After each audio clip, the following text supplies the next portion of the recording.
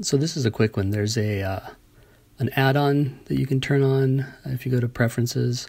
This is called scatter objects.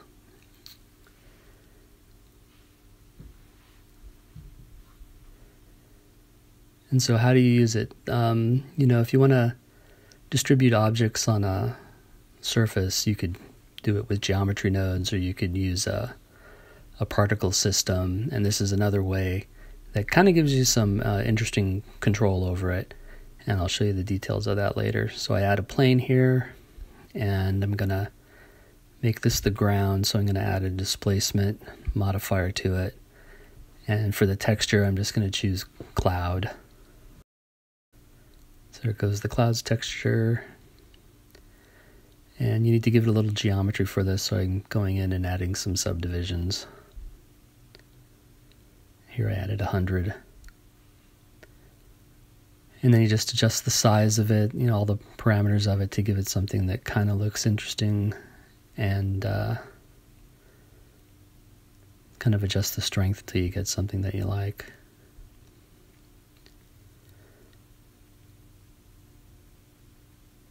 You could also go into sculpt mode and do this kind of manually if you wanted to.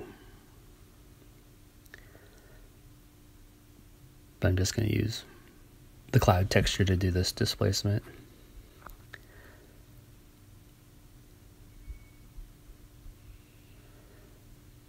So I had another video out there for mesh extra objects, and under that you can turn on uh, this thing called the rock generator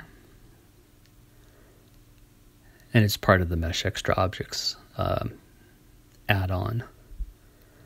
So if you go to it, you have some basic controls, and if you go to my other video, you can see some of the details there.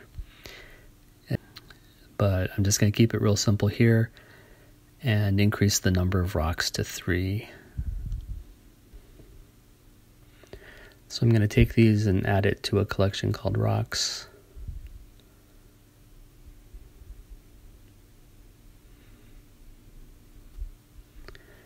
Then I'm going to turn the plane back on and move these off to the side.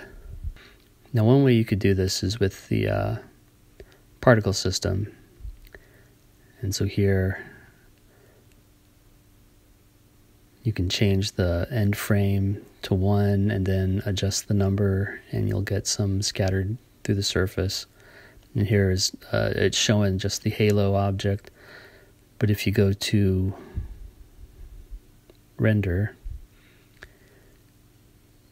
you can change it from halo to object. And then go ahead and choose your object. You could also choose uh, collection, and since we have a collection, I'll go ahead and do that. And then you can see you get some scattered over the surface. You could get fancy and uh, use some weight painting on the panel in order to scatter them only to certain uh, areas. But here, if you choose all the rocks and then you shift click the plane and you have the uh, scatter objects add on active, you can then take your mouse and drag it across the plane. And you get these little cube objects and if you go to the tools menu over here, you see you have some adjustments, the density, radius, actually um, changes how far from the line that you've drawn the objects are scattered. And then you can adjust the scale and then the randomness of the scale, and then also the rotation. That gives you some variation of rotation off the uh, compared to the normal of where the object is. And then the offset adjusts how close to the plane you are. And then the seed is just a random seed, and you can adjust that until you get something that you like.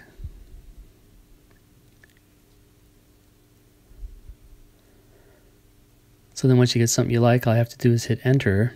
And uh, I don't know if it's just my keyboard or it might be how they have it set up. Uh, the enter on the numpad for me doesn't work. So I have to make sure to click the enter on the on the other um, portion of the keyboard. You, you can actually draw multiple lines if you want multiple. Now it adds these objects to the center, and all you have to do is just go ahead and hide those.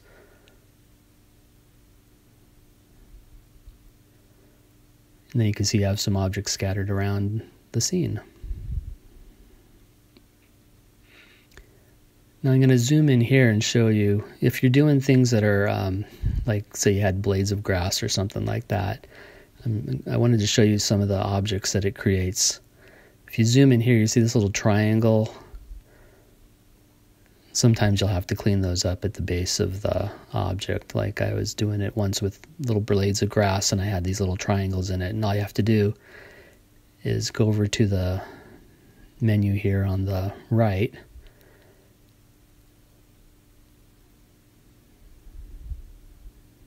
and change this instancing off. So then I did a really quick um, shader for this. Now if you hit um, Control Shift T, it's going to allow you to uh, read in multiple um, images for your texture. So if you have uh, roughness and you have the diffuse and you have uh, some displacement. You can read all those in at the same time, and that's what I did here.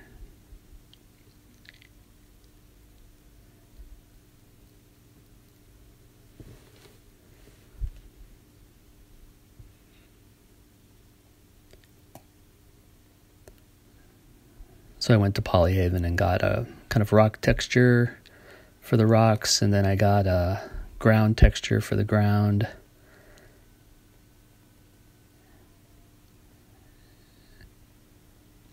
And then I changed it to uh, use a dynamic sky to see what that looked like, and I didn't like it too much, so I went over and uh, used the forest uh, HDRI, I thought that looked pretty good.